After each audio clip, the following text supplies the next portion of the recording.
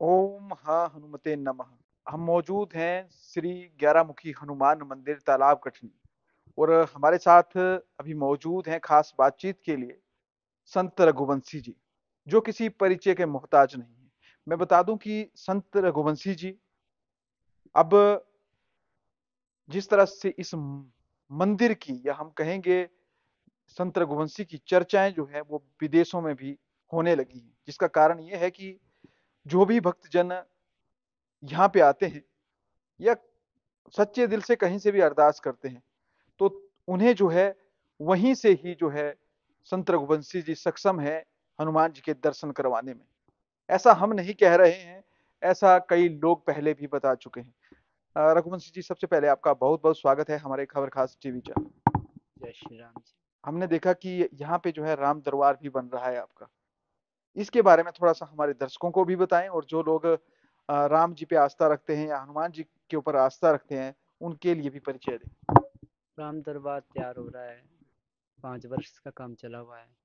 अब तट पे काम है। अब ऐसे कम से कम अभी दो या तीन महीने लग जाएँगे। जनवरी तक हम सोचा इसको पारी करेंगे और प्रभु श्री राम की स्थापना करेंगे। जिससे शास्त्र अनुसार किया जाएगा।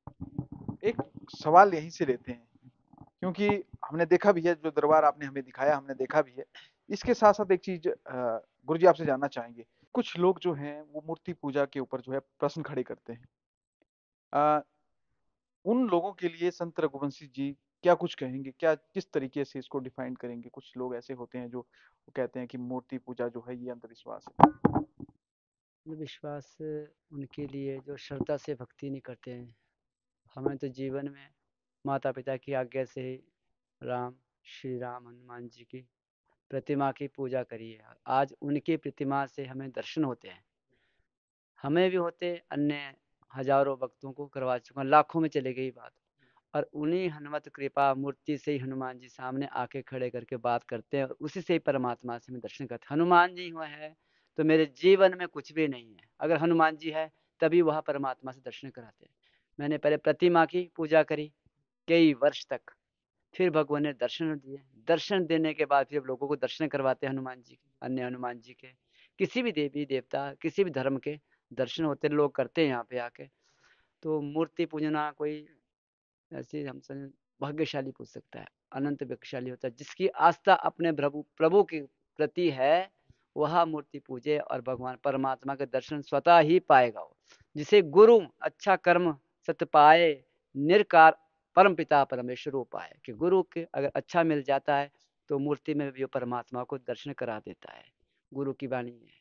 तो हमें गुरु की कृपा से, हनुमान जी की कृपा से माता पिता के आशीर्वाद से मूर्ति पूजते, हम हनुमान जी की प्रतिमा पूजते थे श्री राम की, दुर्गा की, शिव की, काली की तो आज तभी हम परमात्मा के दर्शन पाते हैं।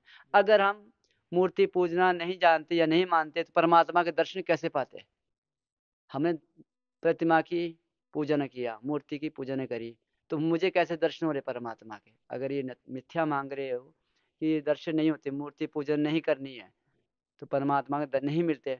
तो अन्य मेरे साथ पाँच हज़ार लोग जुड़े हुए हैं, उसमें चार चार सौ पचानवे बच्चे ऐसे जिन्हें परमात्मा के दर्शन होते हैं और सामने बोल रहे आपने टेलीकास्ट भी किया है तो उन्हें कैसे होते हैं? मेरा आपसे यही सवाल है कि उन्हें दर्शन कैसे होते हैं फिर? अगर हम मूर्ति पूजन कर रहे संस्कार है। माता पिता के संस्कार दिए ना हमें।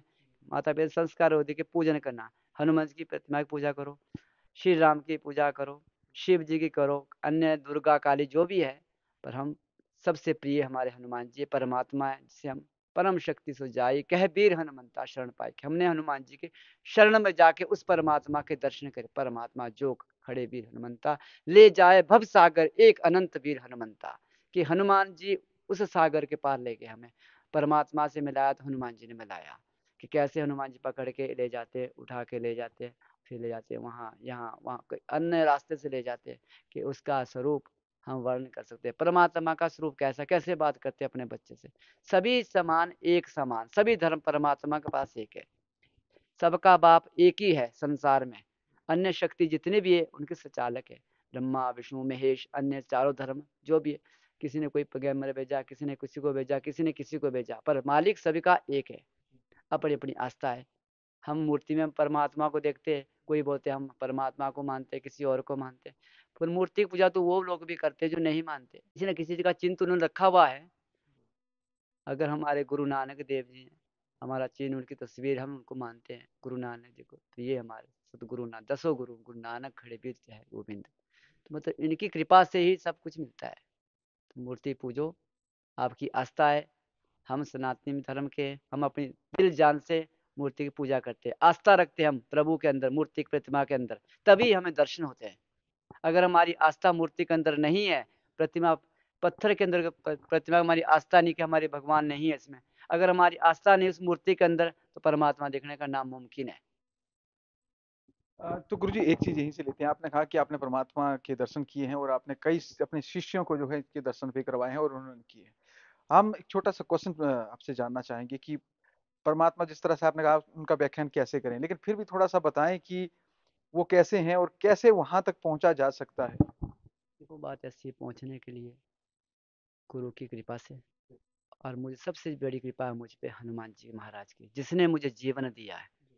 इन्होंने मुझे जीवन दिया, इनसे ही मैं प्रतिमा से मतलब सब कुछ सीखा है, बड़े हुए, जो भी हुए माता पिता की आज्ञा से इन्होंने मुझे संभाला है, हनुमान जी। नहीं तो पाँच वर्ष की आयु से हम तो मृत्यु हो जाती हमारी। अगर ये हनुमान जी ने होते तो आज हम यहाँ नहीं होते। तो हनुमान जी ने मुझे समस्त रास्ते दिखाए। मुझे अपने गुरु से भी हनुमान जी ने मिलाया। जबकि मुझे पहले से चार वर्ष से ही दर्शन होते हैं। उन्होंने मुझे बताया, इस मार्ग पे चल, इस मार्ग में आपको गुरु मिलेंगे। गुरु से बगैर कोई चीज़ नहीं है। ठीक है तो गुरु की कृपा से मैंने उस परमात्मा के दर्शन पाए। पहले गुरु फिर भगवान आए। परमात्मा कैसे हैं देखने में? परमात्मा उसका बखान कर ही नहीं सकता। कुछ चीज़ें ऐसी होती हम नहीं बता सकते। अगर हमने अभी ये बता दिया आपको कल को दूसरा बोलेगा कि हाँ जी ऐसे होते तीसरा बोलेगा कल को ऐसे होते जी क्योंकि वो परमात्मा है उसके लिए कर्म करने पड़ते हैं। गुरु के शरण में जाना पड़ता है। अगर आपको परमात्मा के दर्शन करने, आपने परमात्मा की सती गति में जाना है, उनकी चरण में जाना है तो आप निर्भंक होकर निस्वभाव से आप शरण में आओ, हनुमत दास की शरण में आओ। तब आपकी कृपा होगी, तब आपको सिमरण दिया जाएगा, जाप दिया जाएगा, उस जाप से आपको हनुमान जी समय देंगे। इतने समय पे बेटा आपने बैठना है, बैठने पे आपको हनुमान जी सामने आएँगे। हनुमान जी आपको बाजू से पकड़ेंगे, फिर अपने मार्गदर्शन से, अपने रास्ते से उस परमात्मा से मिलाते हैं। जहाँ सतब ऋषि बैठे होते हैं, अन्य सभी देवता बैठते हैं, अन्य सारे देवता, अन्य चारों धर्म के देखते हैं हम कि वो बैठे हुए नियंत्रण जाप कर रहे हैं। जब ये लोग सतम ऋषि, अन्य चारों धर्म के परमात्मा के बैठे हुए जाप कर, तभी ये संसार टिका हुआ है। किसी की आस्था है, किसी के अपने धर्म पे, किसी किसी धर्म पे आस्था है। धर्म, आस्था ही सबसे बड़ी चीज़ है। अगर आपकी आस्था हनुमान जी पे, आपकी आस्था किसी और धर्म पे मालिक तो एक है। पर आस्था पे डिपेंड करती है भक्ति। हमने सुना है कि जो आपका दरबार लगता है ये तो तालाब कठनी ग्यारह मुखी हनुमान मंदिर यहाँ पे लगता है सोलन जो जिला में है। इसके अलावा भी हमने सुना है कि आपके दरबार जो है वो अब हिमाचल के भिन्न भिन्न क्षेत्रों में लग रहे हैं और कहाँ लग रहे हैं थोड़ा सा बताएँ। मैंने आपको पहले टेलीकास्ट करवाया था कि मुझे दरबार लगाने की कोई ज़रूरत नहीं है।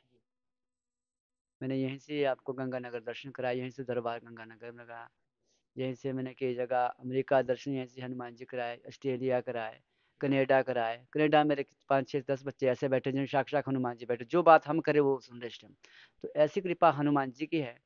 तो फिर भी एक बच्ची ने कहा है, वो बिलासपुर की बच्ची, उसने राड़ी मारी गुरु जी आपने मेरी विनती स्वीकार करे। स्वीकार करने के बाद मैंने महाराज के चरण में अर्ज़ लगाई कि भगवत, उन्होंने कहा कि सोलह तारीख को हम एक दरबार लगाएँगे। वो बच्चे लगा रहे तो हम जाएँगे वहाँ पर जितना भी दुख पीड़ा कष्ट जो भी है हनुमत द्वारा वो दूर की जाएगी। कहाँ पे लग रहा है और ये कब लग रहा है? सोलह अक्टूबर को बिलासपुर में लग रहा है। वहाँ से कुछ बच्चे भक्त जन यहाँ पहुँचे हैं उनके माता पिता से नाम की बच्ची है वैष्णु नाम की बच्ची है उसे महाराज से आगे लग ली दर्शन होते उस बच्ची को हनुमान जी के।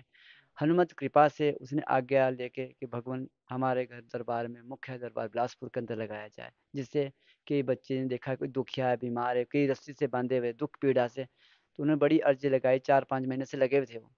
तो हनुमान जी ने उनकी विनती स्वीकार करी तो सोलह अक्टूबर को हम जाएँगे। एक हमने सुना है कि यहाँ पे आपने जो है एक हनुमान जी के ऊपर किताब लिख डाली है। इसके बारे में थोड़ा सा हमें बताएँ और जो लोग हनुमान जी के ऊपर आस्था रखते हैं मुझे लगता है कि विश्व में आप पहले ऐसे संत होंगे जिन्होंने हनुमान के जी के ऊपर ग्रंथ लिखा है किताब लिखी ग्रंथ जो हनुमान जी ने लिखाया ग्रंथ, उसका हम बखान नहीं कर सकते हमारा मुख्य है, बखान करने का नाम इस लायक है, पर भगवान ने बनाया है तो लिखाया है हमसे। उस ग्रंथ में इतनी पावर है कि आप सुनते ही अथम शक्ति प्राप्त करोगे कि आप कहाँ पे हो। जब उसकी वाणी चलेगी, उनके शब्द चलेंगे स्वतः ही बंदा उस परमात्मा का जाना शुरू हो जाएगा। अनंत कृपा बरसेगी। अंदर की आत्मा पवित्र हो जाएगी। जो लिखाया उसमें भगवान की कृपा से, हनुमान जी ने लिखाया है। मैं लिखने योग्य तो नहीं था, पर इन्होंने लिखाया है। फिर फिर भी इतनी बड़ी कृपा है। भगवान ने करी कि एक ग्रंथ लिखा दिया हनुमान पूरा वर्णन किया उसमें। कब जन्म हुआ, कैसे हुआ, ये बताया है भगवान ने। अब उसमें शास्त्र अनुसार जो हमारे ग्रंथ में शास्त्र ग्रंथ लिखे हुए पहले जिनकी हनुमत कथा है, श्री राम कथा है, अन्य कृष्ण कथा, वासुदेव कथा, जो भी मन भागवत कथा है, उससे अलावा जैसे भगवान ने मुझे बताई, एक पुस्तक, ग्रंथ बोलते हम, अनंत ग्रंथ पाया, एक अनंत वीर हनुमंत दिखाया, कि हनुमंत ने वो चीज़ दिखाई है, दिखाने के बाद वो हमें लिखाई है। फिर लिख, ऐसे मुझे आपका नाम लिखना भी नहीं आता है। पर जब भगवान मेरे सामने बैठते हैं, तब वो ही पेन चलाते हैं।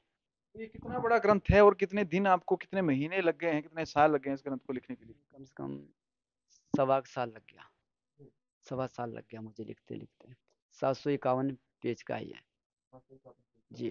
तो इसका जो व्याख्यान है अगर हम कहेंगे इसका जो लोगों के लिए समर्पित आप करेंगे या उनको जो आप बता रहे हैं कि इसके शब्दों मात्र से ही उनके जीवन में परिवर्तन होगा उनको परमात्मा की तरफ़ जाने का रास्ता मिल जाएगा खुल जाएगा तो ये आप कब अपने भक्तों के लिए?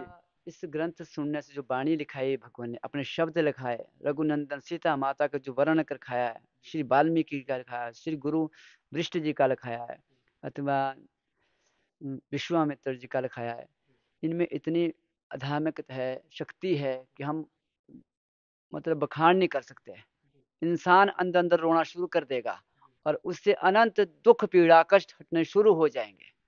इतनी पावर है अक्षर के अंदर। भी तो जैसे आज्ञा होगी। तो हम उससे कथा करेंगे, हनुमान कथा ही बोलेंगे। इसके लिए हम हनुमत कथा करेंगे, नौ दिन की करेंगे। नौ दिन तक चलता रहे कथा।